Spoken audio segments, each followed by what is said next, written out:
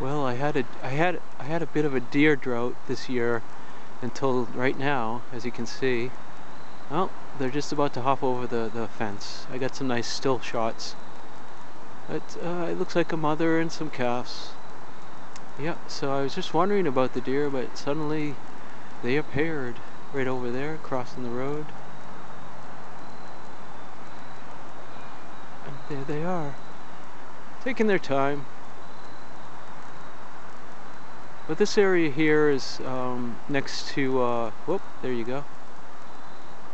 Next to uh, Silver Maple Swamp or Maple Silver, I forget the exact name, um, wetlands, woods. And they like, uh, I've always seen deer in these this this patch of woods.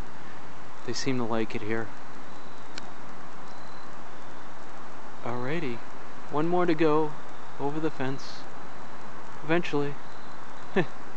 Oh, don't go that way. There you go.